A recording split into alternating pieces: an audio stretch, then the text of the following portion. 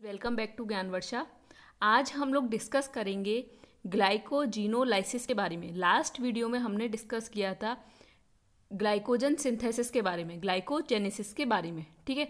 आज हम बात करेंगे ग्लाइकोजन के ब्रेकडाउन के बारे में। तो चलिए स्टार्ट करते हैं। Glycogen means glycogenolysis. ग्लाइकोजन का ब्रेकडाउन होना, वो होता है हमारा ग्लाइकोजन का ब्रेकडाउन होने को हम बोलते हैं ग्लाइकोजीनोलाइसिस। ठीक है? अब देखिए, आपको याद हो, अगर आपने वो वीडियो नहीं देखी है तो वो वीडियो में इस वीडियो के एंड में लिंक दे दूँगी, आप वहाँ से देख लीजिएगा। देखिए, आपको अगर याद, मैं जस्ट एक समरी के फॉर्म में हम देखते हैं।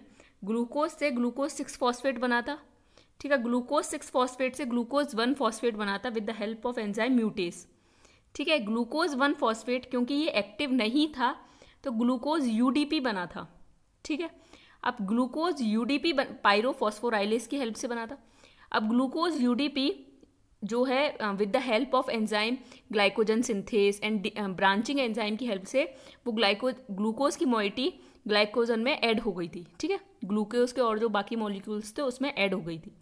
ये तो हमारी प्रोसेस थी जो इधर की हमने अभी बात की, वो थी हमारी ग्लाइकोजन की सिंथेसिस ग्लाइको ग्लाइकोजेनेसिस ठीक है?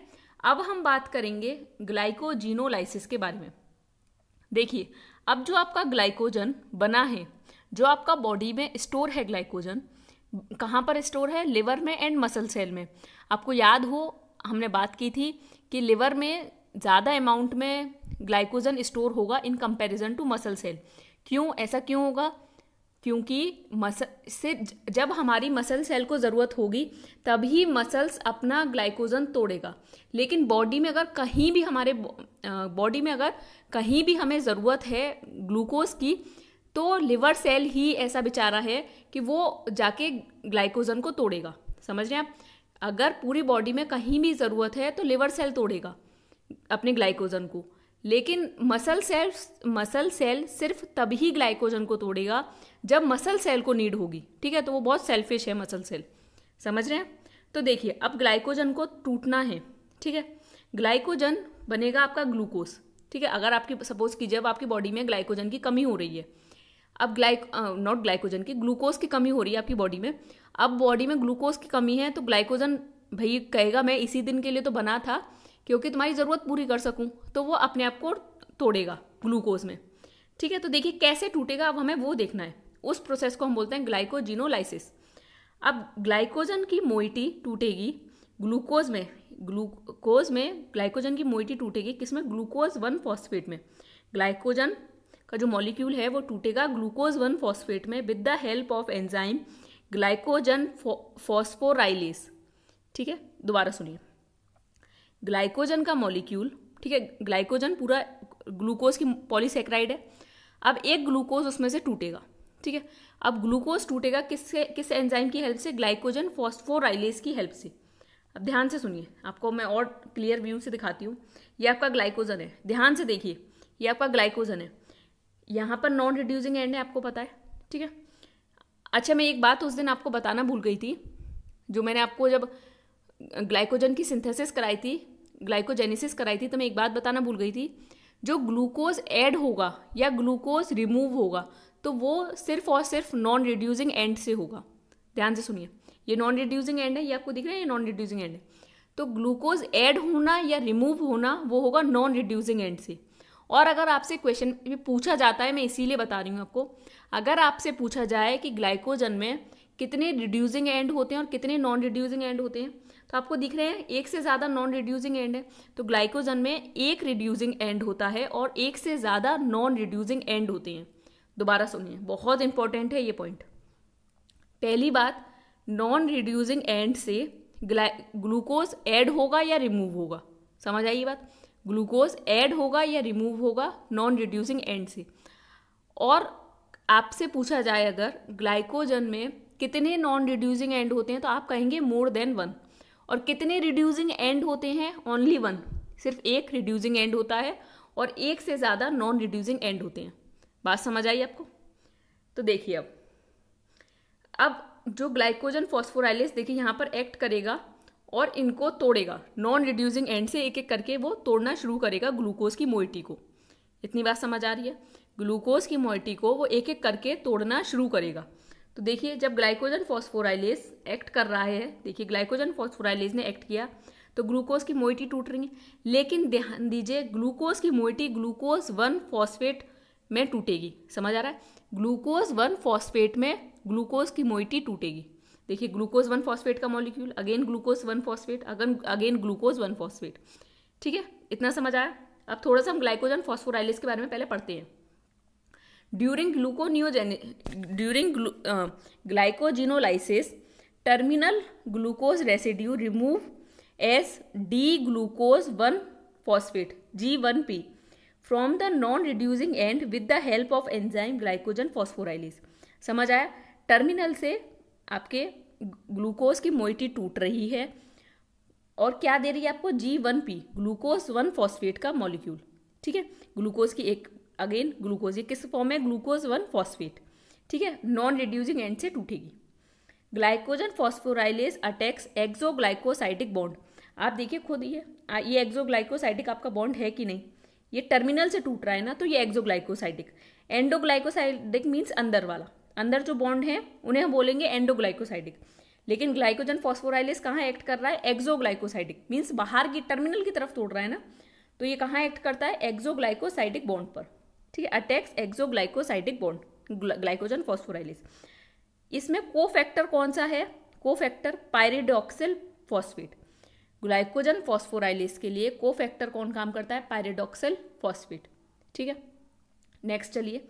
Glycogen phosphorylase act repeatedly on the non-reducing end of glycogen until it reaches a 0.4 glucose residue away from alpha 1,6 branch point. ध्यान से सुनिए इसका क्या मतलब है। देखिए ग्लाइकोजन फॉस्फोराइलिस कब तक एक्ट करेगा? ये दिख रहे हैं आपको चार रेसिड्यूज अवे रह गया। ये ब्रांचिंग पॉइंट है। चार रेसिड्यूज अवे रह गया ना ब्रांचिंग पॉइंट के, देखिए। चार रेसिड्यूज अवे रह गया ना तो तब तक ग्लाइकोजन फॉस्फोराइलेस एक्ट करेगा। तब तक एक्ट करेगा जब चार रेसिड्यूज रह गए हैं डी ब्रांचिंग एंजाइम में। ठीक है, यहाँ तक। यहाँ तक तोड़ देगा, यहाँ के बाद ग्लाइकोजन फॉस्फोराइलेस रुक जाएगा। समझ आइए बात? यहाँ तक तोड़, तोड़ने के बाद ग्लाइकोजन फॉस्फोराइलेस रुक जाएगा। देखिए, यही बात ये लिख रही है। Repetitively on the non reducing end of glycogen until it reaches a point four glucose residue away from alpha one six branch point ठीक है? ये इतना बात समझ आया। अब बात करते हैं ग्लाइकोजन फॉस्फोराइलिस के लिए कौन एक्टिवेटर है और कौन इनिवेटर है।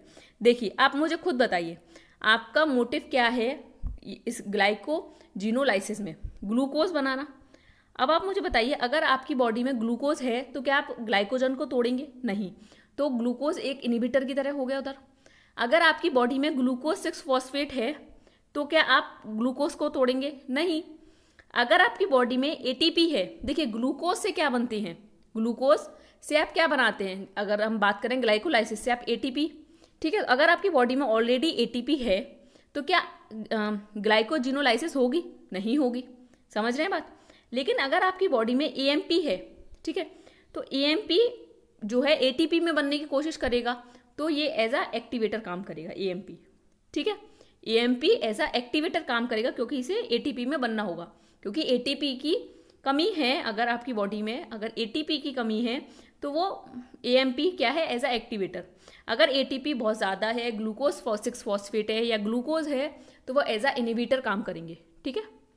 आई होप आपको ये ग्लाइकोजन फॉस्फोराइलेस अच्छी तरीके से समझ आएगा अब ध्यान से सुनिए। अब क्योंकि ये चार मोइटी रह गई, ठीक है? अब ये कैसे टूटेंगी? तो देखिए डी ब्रांचिंग एंजाइम हेल्प करेगा। इसके दो रोल होते हैं डी ब्रांचिंग एंजाइम के। पहला होता है transferase activity transferase activity of debranching enzyme ये देखिए क्या करेगा? ये तीन मोइटी लेगा। ये तीन मोइटी लेगा और ये ट्रांसफ़र कर देगा ये जो नीचे टर्मिनल है ना, इसके यहाँ पर यहाँ, देखिए, तीन मोइटी इसने यहाँ ट्रांसफ़र कर दी। समझ आ रहा है? जो ये नॉन रिड्यूसिंग एंड है दूसरी ब्रांच की, उसके वहाँ पर ये तीन जो मोइटी हैं ग्लूकोज की ट्राइसेक्राइड जो है, इसे यहाँ पर क्या कर देगा? ट्रांसफ़र कौन ट्रांसफ़र करता है? Transferase activity of debranching enzyme debranching enzyme के दो काम होते हैं। एक तो ट्रांसफ़र करना, जो ये तीन मोइटी हैं इन्हें। ठीक है? अब देखिए, अब ये एक मोइटी आपकी बची। ये एक मोइटी बची तो डी ब्रांचिंग एंजाइम जो है, इसे, अब कौन सा एंजाइम होगा? अब पहले सुनिए। एल्फा वन सिक्स ग्लूकोसाइडेस जो है, ये देखिए एल्फा वन सिक्स ग्लूकोसाइडेस, इस मोइटी को तोड़ देगा, ठीक है? और क्या बनेगा? ग्लूकोज। अब ध्यान से दे, सुनिए मेरी बात। जब यहाँ पर ग्लाइकोजन फॉस्फोराइलेज ने एक्ट किया तो क्या बना? आपका ग्लूकोज वन फॉस्फेट। लेकिन ट्रांसफरेस एक्टिविटी से तो ये ट्रांसफ़र हो गए तो कुछ रिमूव नहीं हुआ। लेकिन जो ये डी ब्रांचिंग एंजाइम ने, जो कि ये आपका एल्फा वन सिक्स ग्लूकोसाइडेज है, इसने क्या दिया ग्लूकोज देखिए, यहाँ ग्लूकोज वन फॉस्फेट मिल रहा है, यहाँ क्या मिल रहा है आपको? लेकिन कितना मिल रहा है? सिर्फ़ और सिर्फ़ एक ग्लूकोज यहाँ कितने सारे आपको ग्लूकोज वन फॉस्फेट मिले? बात समझ आई आपको? दोबारा सुनिए। आपका ग्लाइकोजन है, ठीक है? नॉन रिड्यूसिंग एंड से ग्लूकोज के मॉलिक्यूल रिमूव होना शुरू होंगे और तब तक रिमूव होंगे जब ब्रांच में, जो ब्रांचिंग पॉइंट है, वहाँ से चार ग्लूकोज के ग्लूकोज के मॉलिक्यूल नहीं रह जाते। ठीक है तो चार मॉलिक्यूल रह गए, तब तक रिमूव होते रहे और किस फॉर्म में? ग्लूकोज वन फॉस्फेट की फॉर्म में रिमूव होते रहेंगे। ठीक है, इतनी बात समझ आई।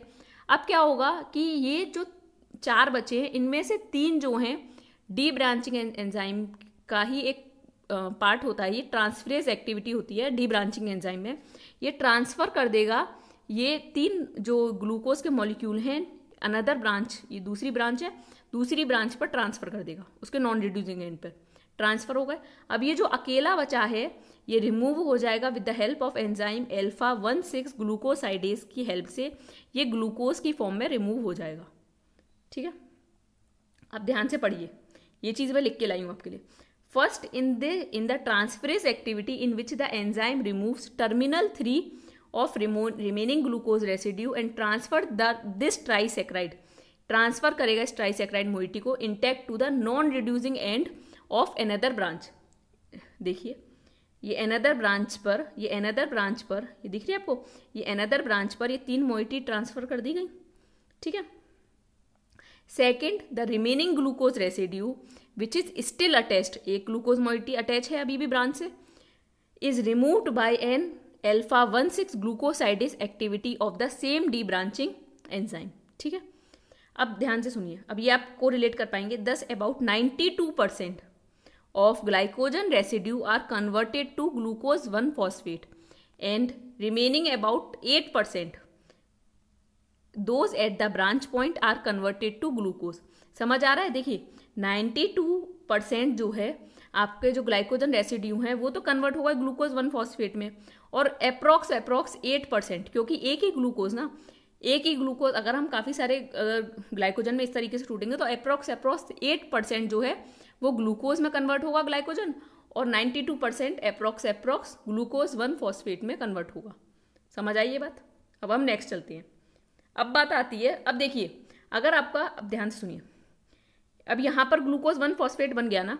अब ग्लूकोज वन फॉस्फेट तो म्यूटेस की हेल्प से ग्लूकोज सिक्स फॉस्फेट बन जाएगा। अब वो चाहे ग्लाइकोलाइसिस में जाए, चाहे ग्लूकोज बने, कुछ भी हो सकता है वो। ठीक है? अब बात चलते हैं आगे। समझ आ गया ना? ग्लूकोज वन फॉस्फेट बन गया। ग्लूकोज वन फॉस्फेट बन गया तो म्यूटेस की हेल्प से ग्लूकोज सिक्स फॉस्फेट बन जाएगा। अब ग्लूकोज सिक्स फॉस्फेट चाहे तो ग्लाइकोलाइसिस में जा सकता है, चाहे तो वो किसी भी साइकिल में जाए और या फिर वो ग्लूकोज बन सकता है। ठीक है? समझ आया आपको? अब हम नेक्स्ट चलते हैं। रेगुलेशन ऑफ़ ग्लाइकोजन मेटाबॉलिज्म अब ध्यान से सुनिए रेगुलेशन ऑफ़ ग्लाइकोजन मेटाबॉलिज्म देखिए, दो दो चीज़ हैं, एक है हमारा इंसुलिन और एक है हमारा ग्लूकागोन ठीक है इंसुलिन देखिए इंसुलिन तब एक्ट करता है इंसुलिन इंसुलिन तब एक्ट करता है जब आपकी बॉडी में ग्लूकोज की कंसंट्रेशन ज़्यादा हो जाती है और उसे ग्लाइकोजन बनाना है. और ग्लूकागोन कब एक्ट करेगा? जब बॉडी में ग्लूकोज की ज़रूरत है. जब बॉडी को ग्लूकोज की नीडेड है तो वो ग्लाइकोजन पे एक्ट करेगा और ग्लूकोज बनेगा। ठीक है? अब ध्यान से सुनिए। सेम वे ग्लूकागॉन जैसे एक्ट करता है, वैसे ही एफिनेफ्रिन एक्ट करता है। ठीक है? ग्लूकागॉन जैसे एक्ट करता है, वैसे ही एपिनेफ्रिन एक्ट करता है। ध्यान से सुनिए। हार्मोन है यहाँ पर, ये जो हार्मोन लिख रहा है, यहाँ पर हार्मोन है हमारे glucagon and epinephrine glucagon and epinephrine वो क्या करेंगे? एटीपी को सी पी में बनाएँगे साइक्लिक एएमपी में बनाएँगे, ठीक है? साइक्लिक एएमपी क्या करेगा? देखिए प्रोटीन काइनेज ए जो है इनएक्टिव है, वो उसे एक्टिव कर देगा C A M P C A M P क्या करेगा? प्रोटीन काइनेज ए को एक्टिवेट कर देगा। एक्टिव हो गया protein kinase A protein kinase A क्या करेगा? फिर फॉस्फोराइलेस काइनेस जो है फॉस्फोराइलेस काइनेस उसे एक्टिव कर देगा। ध्यान से सुनिए। सब कुछ इनएक्टिव पड़ा हुआ है, ठीक है? अब आपको ग्लूकोज की ज़रूरत है बॉडी में। ध्यान से सुनिए। आपको बॉडी में ग्लूकोज की ज़रूरत है। और सब कुछ आपकी बॉडी में इनएक्टिव पड़ा हुआ है। इस तरीके से याद रखिए। तो आपके ग्लूकागोन और एपिनेफ्रिन आएँगे, वो एटीपी को सीएएमपी में कन्वर्ट करेंगे। सीएएमपी बन गया। सी ने क्या किया? प्रोटीन काइनेस ए पे एक्ट किया और उसे एक्टिव करा दिया। अब प्रोटीन काइनेस ए क्या करेगा? फॉस्फोराइलेस काइनेस को एक्टिवेट करा देगा। प्रो फॉस्फोराइलेस काइनेस क्या करेगा? फॉस्फोराइलेस बी जो है इनएक्टिव फॉर्म होता है। और फॉस्फोराइलेस ए ए से याद रखिएगा ए से एक्टिव ए से ए ठीक है? मीन्स ए से एक्टिव ऐसे याद रखिएगा। तो फॉस्फोराइलेस ए में कन्वर्ट करा देगा। ध्यान से सुनिए। दोबारा। एटीपी ने सी बनाया, ठीक है? ग्लूकागोन ने एक्ट किया एटीपी ने सी बनाया। एटीपी से सी बना एडिनाइलेट साइक्लेस के थ्रू सी बनने के बाद उसने प्रोटीन काइनेस ए को एक्टिवेट किया। प्रोटीन काइनेज ए ने फॉस्फोराइलेस काइनेस को एक्टिवेट कर दिया। फॉस्फोराइलेस काइनेस ने फॉस्फोराइलेस बी को फॉस्फोराइलेस बी को फॉस्फोराइलेस ए में कन्वर्ट किया। दिख रहा है आपको? फॉस्फोराइलेस बी को फॉस्फोराइलेस ए में कन्वर्ट किया। ठीक है, अब फॉस्फोराइलेस ए जो है एक्टिव है। फॉस्फोराइलेस ए क्या करेगा? ग्लाइकोजन पे जाएगा और ग्लूकोज वन फॉस्फेट बनाएगा। समझ में आया? ये फॉस्फोराइलेस वही है ग्लाइकोजन फॉस्फोराइलेस समझ आ रहा है? जो अभी हम ये पढ़ के आए ना ग्लाइकोजन फॉस्फोराइलेस ये फॉस्फोराइलेस ए यही है। समझ आ रहा है आपको? तो अब समझ आया कैसे हुआ? हार्मोन कौन से हैं? ग्लूकागोन एंड एपिनेफ्रिन ग्लूकागोन और एपिनेफ्रिन ने क्या किया? एटीपी सीएमपी में बन गया। एडिनाइलेट साइक्लेस एक्टिवेट हो गया। एटीपी सीएमपी में बन गया। अब सी एम पी ने प्रोटीन काइनेस ए को एक्टिवेट किया। प्रोटीन काइनेस ए ने फॉस्फोराइलेस काइनेस को एक्टिवेट किया। फॉस्फोराइलेस काइनेस ने फॉस्फोराइलेस ए को एक्टिवेट किया।